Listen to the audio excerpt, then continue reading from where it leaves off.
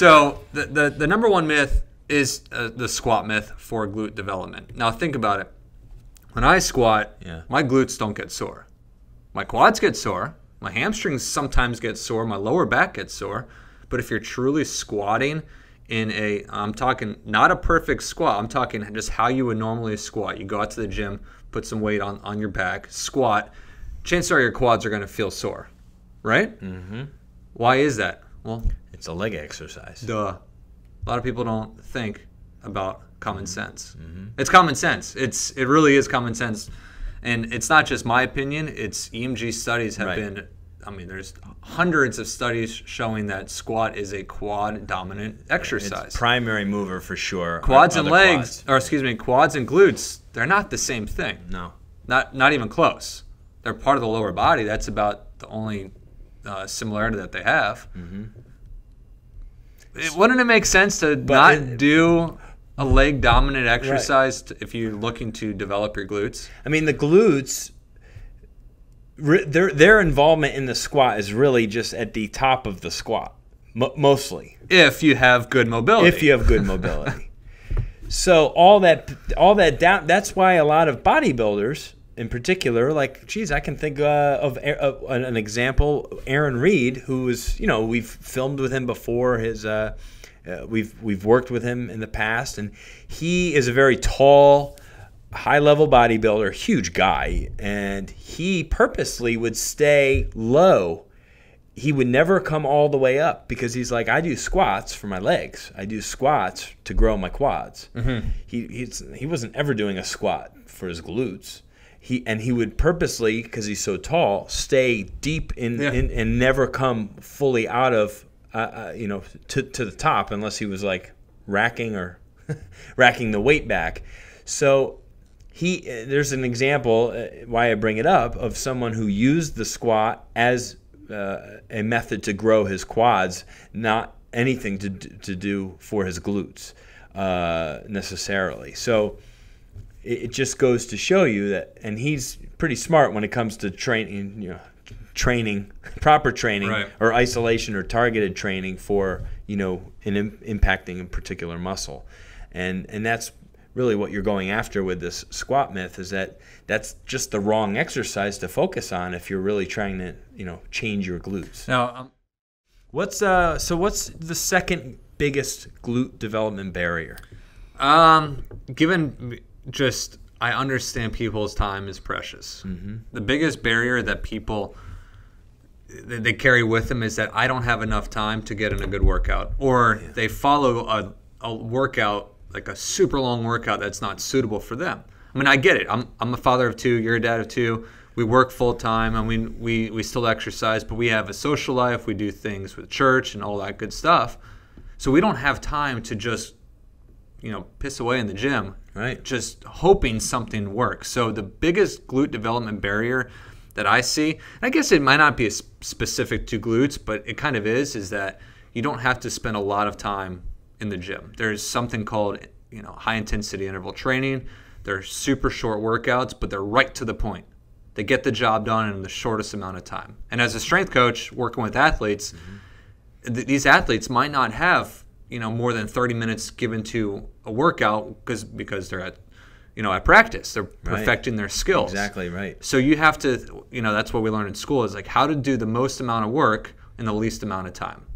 You know you don't need to spend 15 minutes on a warm up you don't need to foam roll. You don't need to you know take selfies. You don't need to do all this this van this vanity baloney.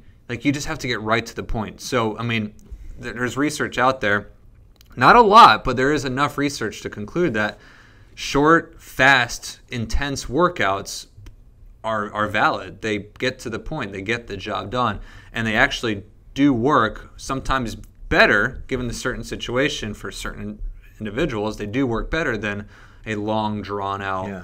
workout. And you're more likely to stick with it too. You know, when people That's the practicality of short workouts. Right. These 20 to maybe, you know, 30 minute routines are very reasonable to people. I mean, you could this is something you could squeeze into your lunch break. Uh, if you had only an hour in the middle Right. of the day, you know, well, geez, if I eat for 30 minutes and exercise for 30 minutes, there's my hour, you know. Um, and or you could squeeze it in the, the start of the day or at the end of the day uh, pretty easily uh, 30, 30 minutes you know an, an hour or more seems really daunting and exhausting to people so then they end up just skipping the whole thing Right. because they just feel ah, i just don't have that kind of time i don't have that kind of energy and the you know body weight sometimes doesn't get it, all the credit that it should but it's so um, you know, I recently was talking about body weight training with with Funk Roberts and stuff. I mean, there's just you can get into great shape and maintain a really nice physique with just body weight stuff. You know,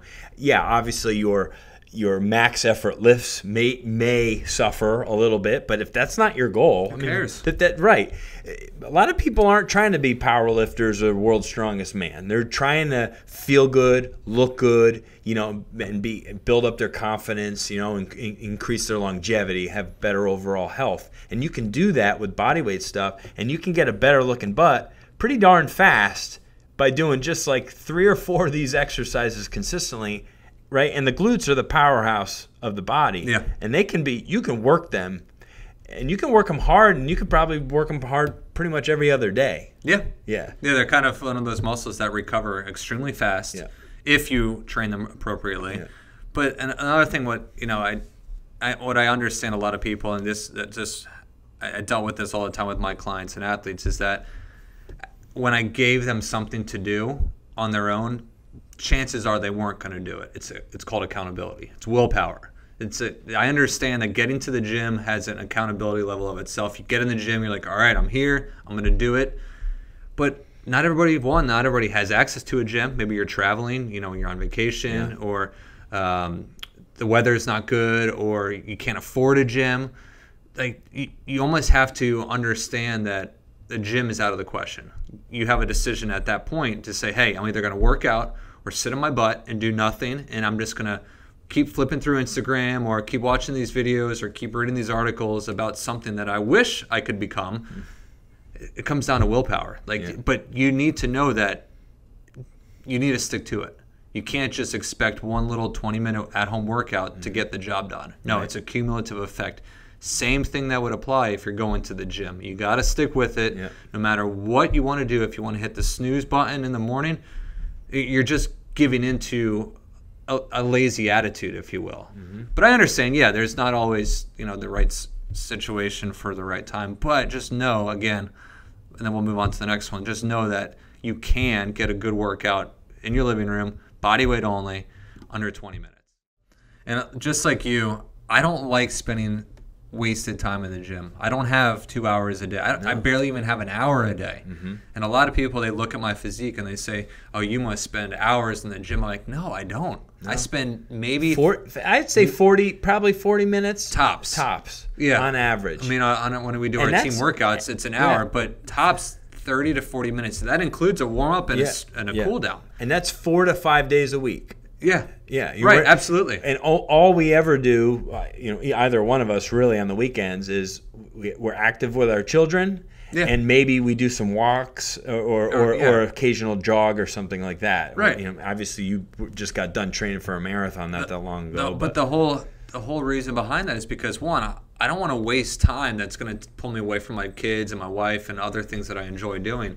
But it's also wasted energy. Mm-hmm. We have a limited amount of energy each day, and why do I want to waste it when it, it's going to produce nothing or something very small? You got to weigh out the risk or weigh it, weigh it out to see is is this worth my time.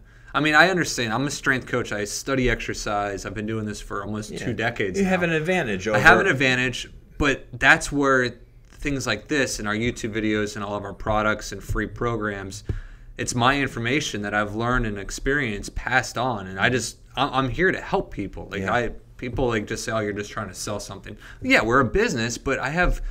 So much free information that if, Yeah. if it's changed my life, Yeah. and I know it can change your life, Yeah. I want to share it with as many people as possible. And that's why glutes, yeah, it might be seen as a vanity part or, you know, like a physique part of the body just for purely aesthetics, but no, it's the powerhouse of the body. So much comes from the glutes. And anything vertically, anything horizontally, even rotational movements, it starts from the glutes. It transfers up, it transfers down. You have to keep your glutes healthy and, and you have to just do whatever it necessary in order to get those glutes where they need to be. Yeah.